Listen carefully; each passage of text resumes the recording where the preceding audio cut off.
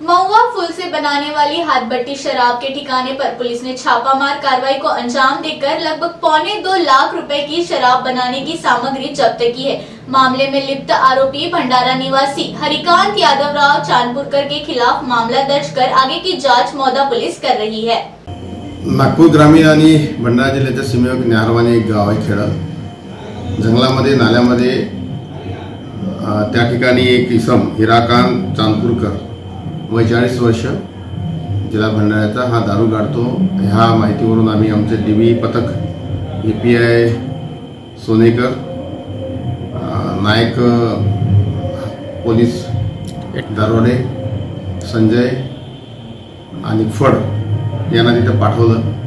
Red success झाली. त्या ठिकाणी दोन ड्रम लोखंडाचे मिळून आले. सात किनाचे पिपे होते. चारशे किलो मोवा सोडा मिळून आला.